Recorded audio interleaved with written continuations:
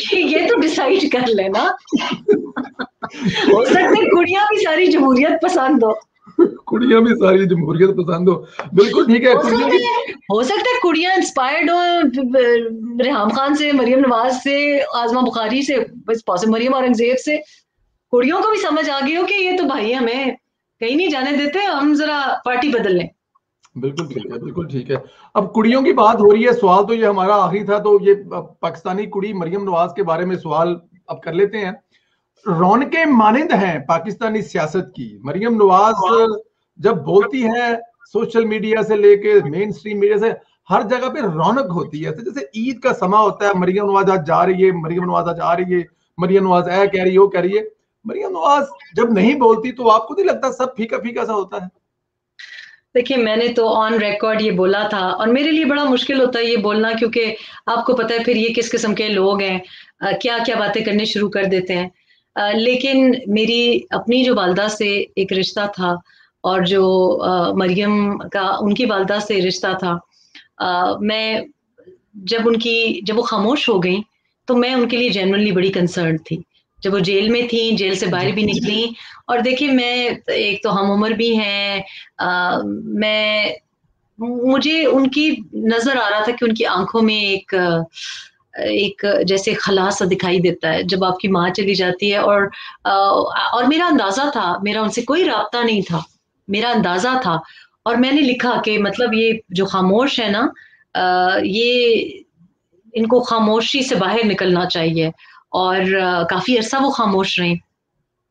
और it was जिसको अंग्रेज़ी में कहते हैं ना डेफनिंग साइलेंस मुझे जाती तौर पे मेरा बड़ा दिल किया कि ये दोबारा बोलें।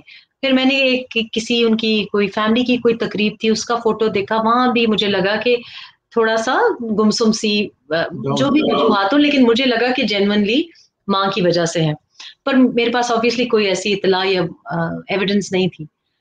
और अब मैंने देखा पिछले दिनों मदर्स डे पे उन्होंने जो एक ट्रिब्यूट लगाया अपनी वालदा को ये बातें जो है ना ये कोई अगर पब्लिक फिगर होता है ना तो उसका ये मतलब नहीं कि वो इंसान नहीं रहता कि उसके इंसानी रिश्ते नहीं रहते। वो खुद भी माँ है अपनी बच्ची से उनकी बच्ची मेरी बच्ची की बल्कि छोटी है उससे साल मेरा ख्याल है डेढ़ साल उससे भी जुदा रहे। और वो जिस किस्म की नानी या माँ दिखाई देती हैं बेटी दिखाई देती है वो काफ़ी उस तरह से इमोशनल दिखाई देती है। तो एक तो ये भी बड़ी ज्यादती हुई। और अब भी ये है कि अभी भी जो उनके दुश्मन भी हैं, उनको भी चैन नहीं है। जब वो बोलती है तो भी तकलीफ़ होती है। जब वो नहीं बोलती तो भी तकलीफ़ होती है।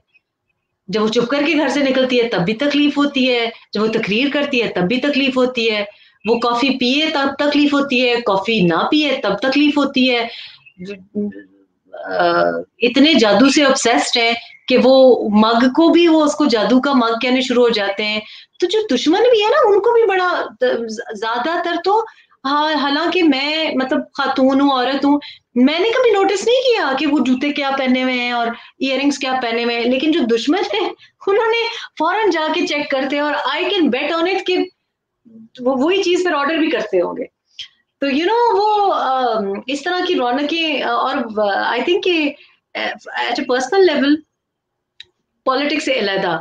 मैं उनकी ये जो थोड़ी सी वो थोड़ा सा वो तंग भी करती हैं अपने दुश्मनों को जानबूझ के तो मुझे बड़ा मज़ा भी आता है कि कोई जानबूझ के यू नो कभी जब बेरा में खड़ी हो जाती है कभी डोनट्स खरीद रही है जानबूझ के।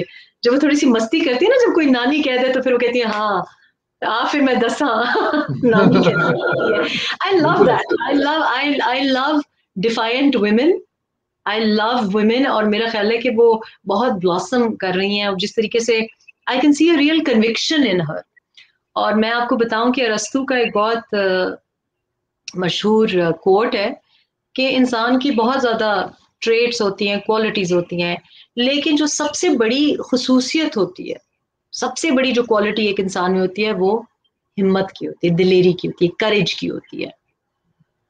और उससे नीचे लॉयल्टी की होती है। रस्तु कहता है कि ये करेज जो है और फिर उसके बाद लॉयल्टी ये इस ऑर्डर में ये ट्रेड्स हैं। तो मैंने हमेशा आपको कहा है कि चाहे आप उनकी सियासत से अग्री करें डिसअग्री करें, लेकिन जब भी कोई दिलेरी दिखाता है, मर्द हो या औरत हो तो मैं तो इस बात की बड़ी इज़्ज़त करती हूँ और इस वजह से वो अवाम में मकबूल है। तो रौनक इसी वजह से बनी है। बाकी आप देखें अब हम तंग भी आ गए हैं इन लोगों को देख देख के वो आपकी वाली बात है।